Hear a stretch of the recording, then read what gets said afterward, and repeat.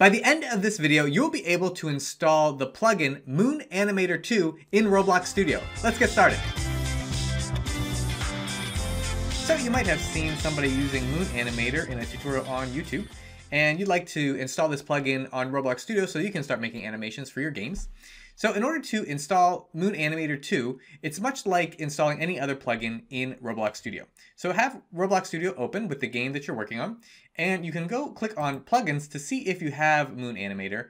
So you can click on plugins and then click on manage plugins, and that'll show you the plugins that you have. So right now I do not have Moon Animator on here. If you did, you'd be able to update it to Moon Animator 2.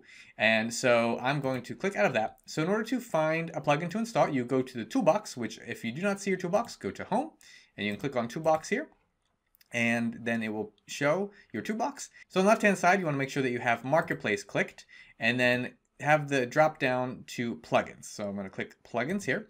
And now I'm going to go ahead, and you can see Moon Animator 2 is right there, but let's say it doesn't show up. You can go ahead and go to the search bar and look up Moon Animator and just press enter.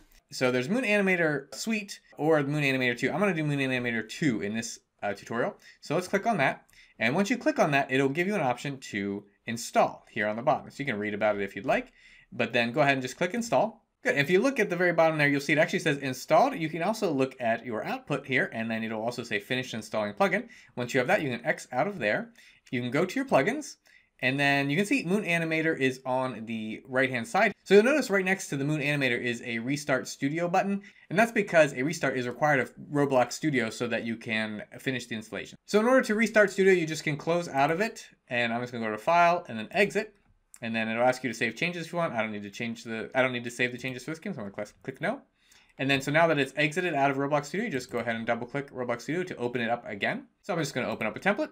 And now this will work with any game that you're working on. I'm to go up to plugins again and you'll see Moon Animator is now there. So when I click on Moon Animator, it will bring up the animation plugin here.